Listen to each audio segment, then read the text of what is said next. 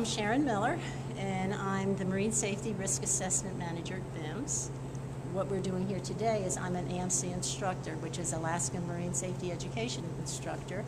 We do classroom instruction. We you know, talk about life rafts and immersion suits, psychological response to a crisis. And when that's finished, we come to the pool. Now we've talked about it, now let's exercise. This is an immersion suit, and um, generally we're putting these on in, in a cold water situation. So it helps with your body temperature. Have an emergency, they have immersion suits on board. We train to be in them within 60 seconds. If you go overboard into cold water, what do we know? We know that within the first minute, our bodies are going to respond to cold water. Uh, and you're going to gas, you're going to become uncoordinated. So when that happens, people experience swimming failure.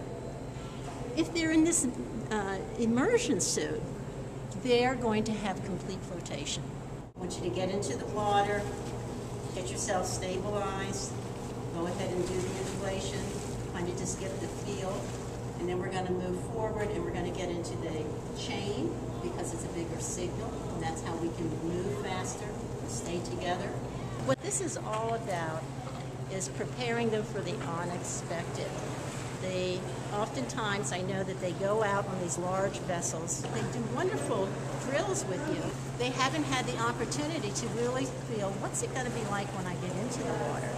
And what I want our people to know is if you're in an emergency situation like that and you end up in a a life raft with somebody or you see them on board, that you're aware of what could potentially be happening to that person so you can step up and help. If you have equipment, if you've got training, it affects your attitude. You know, I can be a survivor. I've been here, I've done this before, and that's what this is all about.